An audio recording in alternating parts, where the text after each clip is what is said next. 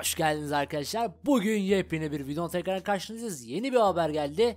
Alan pişman, satan pişman. Rockstar GTA'da Trilogy felaket için özür üyesi yayınladı arkadaşlar. Evet.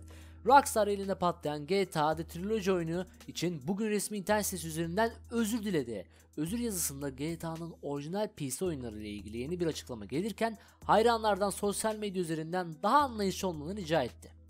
Oyun tutkunlarının uzun zamandır dört gözle beklediği GTA'da Trilogy tam olarak bir faciayla sonlandı. Evet bayağı herkes sıkıntı yaşadı. Hani herkes sorunlar falan yaşadı çözmeye çalıştı o kadar para verdiler. Hani dolandırıldık, dolandırdıkları falan düşündüler. Açıkçası böyle olanlar var. Yok mu var abi. Öncelikle iç karartan grafikleriyle sosyal medyaya aylar konusu olan ben de konuşamadım tabii de. Oyun daha sonra Rockstar Launcher'ın çevrim dışı hale gelmesi tamamen oynanamaz hale gelmişti. Eleştirilerin hemen ardından Twitter üzerinden paylaşımı bulunan Rockstar Sport oyunun pist taşıtlarını durdurduğunu açıklamıştı. Zaten bunun videosunu ben yapmıştım. Bugün ise şirket felaketle sonuçlanan oyun için internet sitesi üzerinden resmi bir özür yazısı yayınladı.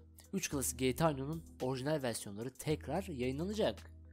Bugün yayınlanan yazıda e, oyunculardan özür dileyen Rockstar şu ifadeleri kullandı. Öncelikle bu oyunları oynarken sorunlarla karşılaşan herkesten içtenlikle özür diliyoruz. Bu 3 oyunun güncelleştirilmiş versiyonları hem bizim kalite standartlarımız hem de hayranlarımızın beklentilerinin altında kaldı.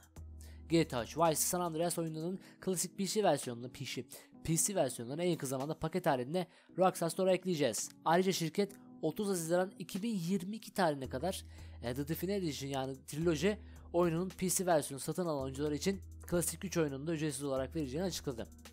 Bu şekilde klasik 3 oyunları da ücretsiz olarak veriliyor yani 2004'teki sanırsam o. Şirket e, oyunlarda güncelleme üzerine çalışmalar devam ettiği dönemde herkes sabrından ve anlayışından dolayı teşekkür ederken sosyal medya üzerinden yapılan saldırılara karşı da hayranlara e, çağrıda bulundu. Bunu söylemek bize büyük üzüntü veriyor ancak oyun geliştirici ekibimizdeki bazı üyelerin sosyal medya üzerinden taciz edildiklerini haberlerini alıyoruz. Evet öyle yapanlar var. Oyuncularımızdan rica ediyoruz lütfen bu süreci e, atlatmak için çalışmalarımızı devam ettirirken saygılı ve medeni ilişkiler sürdürmeye gayret edelim. Bu şekilde de arkadaşlar e, bir haber yayınlandı. Umarım e, daha da sıkıntı yaşatmaz. Zaten GTA için düşünemiyorum bile. GTA farklı olur. Farklı grafikler. Yeni boy, yeni oyun motoru olabilir. Bu tabii ki de bir e, şey yenilendiği için, grafik yenilenmesi olduğu için. Öyle ama beklentim yoktu benim zaten. Ama yine de altında kaldı mı kaldı. Birçok sıkıntılar yaşandı.